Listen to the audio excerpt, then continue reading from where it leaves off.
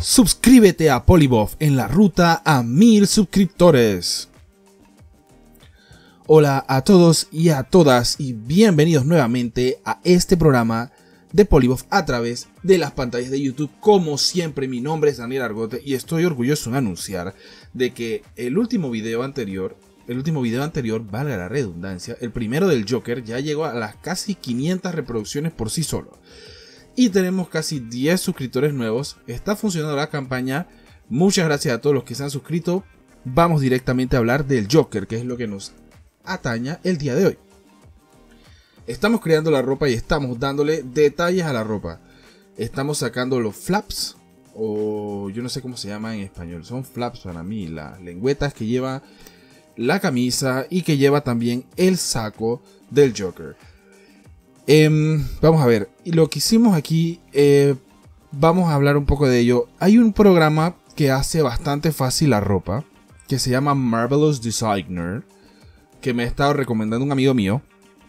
Y sí, voy a empezar a usarlo, pero algo que siempre me dijeron en la escuela es nunca cambies de programa mientras estás en un proyecto.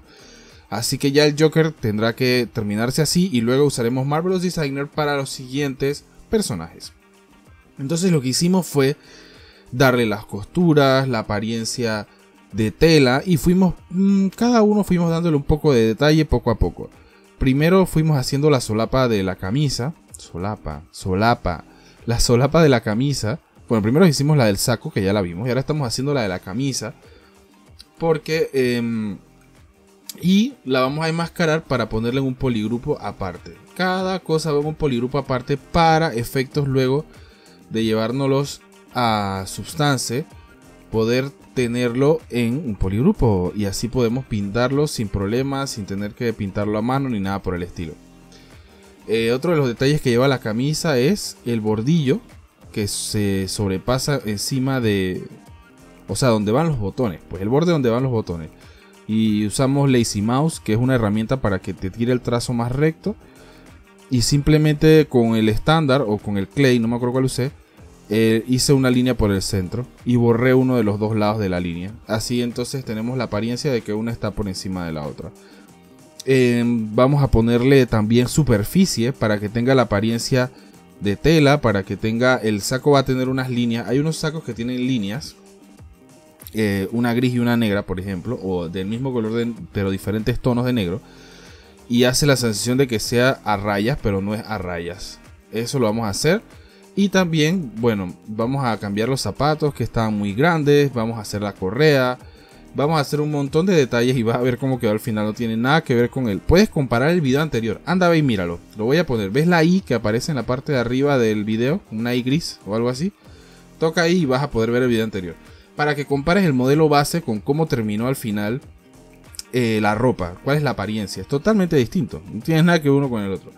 Entonces, el proceso es el siguiente.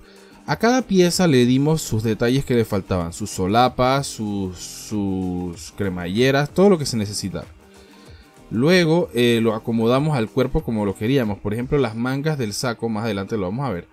Las mangas del saco habría que hacerlas puntiagudas en la parte de abajo. Y así. Fuimos dando todos esos pequeños detalles, las suelas del zapato. Fuimos arreglándolo, le cambiamos un poco el, tamaño. Eso es lo primero, hicimos el primer pase. Luego en el segundo pase le dimos más detalles como las costuras, eh, los pequeños hilos, las cosas. O sea, por ejemplo aquí estamos haciendo las manos y en las manos estamos haciendo las costuras como si fueran, son guantes de cuero pero están eh, cosidas. Así que le dimos el detalle de, las puntadas, del cosimiento de las puntadas. Y también le dimos un poco de intención a la mano para que tenga volúmenes diferentes. Porque cuando tú tienes puestos tus guantes, igual se ven tus dedos por debajo. Y a pesar de que es grueso, igual se ve siempre eh, la línea de, entre medio de tus dedos y esas cosas. Y también arreglamos un poco la palma de la mano para que tuviese más volumen. Otra cosa que hicimos también entonces fue ponerle la superficie. Al principio vi esta superficie súper rara y dije, sí, sí, el Joker. Pero al final me decidí por una más convencional. Y las mangas sí las hice un poco en espiral para que sea un poco más loco, ¿no? El Joker no puede ser tan frac y corbata, tiene que tener un poquito de su toque personal. Así que lo que hicimos fue, en vez de ponerle directamente la superficie, porque eso lo que hace es como que te imprime, como que imagínate que agarraras un cemento fresco y le pones una, textura de, piedras encima para que parezca piedra. Eso es lo que hace. Pero eso requiere muchas subdivisiones y también yo quería pintarlas de un color y luego es muy difícil poner una textura random de sustancia, ponérsela encima y que quedaran las rayas como deben quedar por lo menos yo no sé hacerlo. Si, si alguien sabe hacerlo, me lo deja en los comentarios. Yo lo que hice fue, en vez de poner la superficie, puse máscara de superficie. Todos esos pequeños hoyitos que él hizo, me los pone en una máscara. Entonces una máscara hace que yo no pueda tocar una de las líneas y otra línea así. Por ejemplo, vemos el brazo. Unas líneas son negras y las otras moradas. Las líneas negras no se pueden tocar. Entonces luego le hice una deformación y lo que hice fue que expandí las otras líneas. Y así hace eh, que unas se queden más abajo y otras más arriba y da el efecto del surco.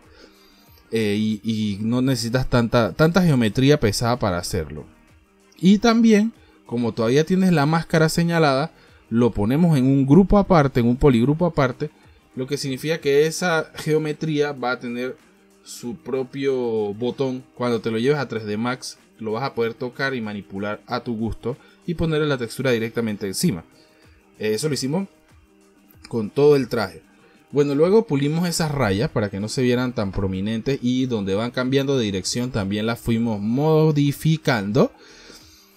Y al final le pusimos las arruguitas y así fue que quedó el modelo con las arruguitas. Quizás arregle un poco más la espalda, pero por ahora está quedando muy bien.